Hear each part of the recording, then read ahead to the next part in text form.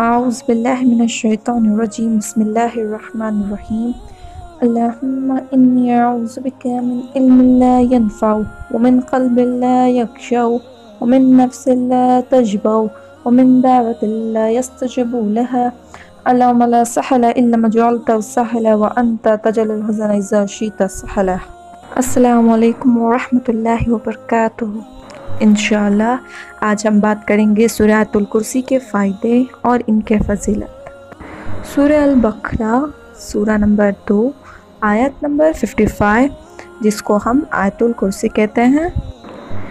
आयतुल कुर्सी की बहुत बड़ी फजीलत है। आयतुल कुर्सी कुरान मजीद की तमाम आयतों में आला और अफजल है। ये बहुत ज़्यादा बड़ी अफजल मानी गई है। सही मुस्लिम की रिवायत है। अभी मक़ाब रज़ी अल्लाह फरमाते हैं, रसूल सल्लल्लाहु अलैहि वसल्लम पाक ने फरमाया, क्या तुम्हें मालूम है किताबुल्लाह में कौन सी आयत बड़ी और सबसे अफजल है? तो मैंने फरमाया, अल्लाह और उनके रसूल ही बेहतर जानते हैं। मुझे तो सही नहीं पता। और नबी सल्लल्लाहु अलैहि वसल्लम पाक ने फिर से पूछा कि तुम्हें मालूम है किताबुल्लाह में कौन सी आयत अफजल है और मैंने अर्ज़ किया अल्लाहुम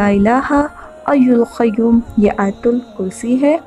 उस वक्त नबी सल्लल्लाहु अलैहि वसल्लम पाक ने मेरे सीने में हाथ फैलाया, जिसे शबाशी दिया हमें और कहा, तुझे इल्म मुबारक हो और ये बात याद रखना कि ये आयत बहुत अफसर है। और बहुत फजीलत वाली आयत है। और इसे हम हर रोज़ पढ़ने की कोशिश किया करें। ये कुरान मजीद की सबसे अफसल और आला आयत मानी गई है। इसी तरह अबू दावत की रिवायत है, रसूल सल्लल्लाहु अलैहि वसल्लम सफ़ा मस्जिद नबवी मुतसिल महजरीन गिरहज का एक जगह थी, वहाँ तशरीफ़ लाए।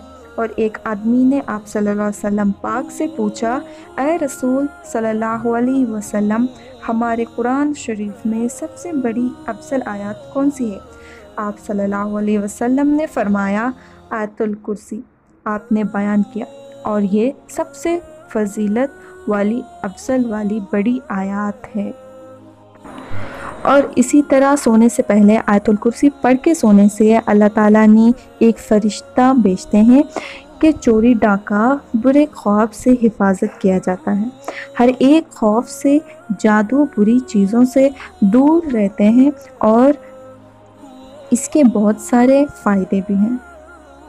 जो शख्स हर फ़र्ज़ नमाज़ के बाद आयतुल कुर्सी पढ़ेगा, वो जन्नत में चला जाएगा। इन दोनों के बीच एक ही फासला होगा और वो मौत का होगा। इन आज से हम हर नमाज़ के बाद आयतुल कुर्सी पढ़ने की आदत करेंगे और इन हमारे हर चीज़ में बरकत अता होगी।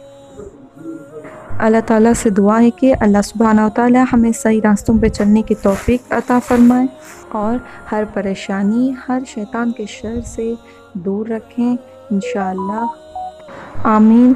या रब्बुल आलमीन। वाखिर दावना अनिलहम्दुलिल्लाहि रब्बिल आलमीन। वस्सलातु वस्सलामु अला सय्यिदिल अस्सलाम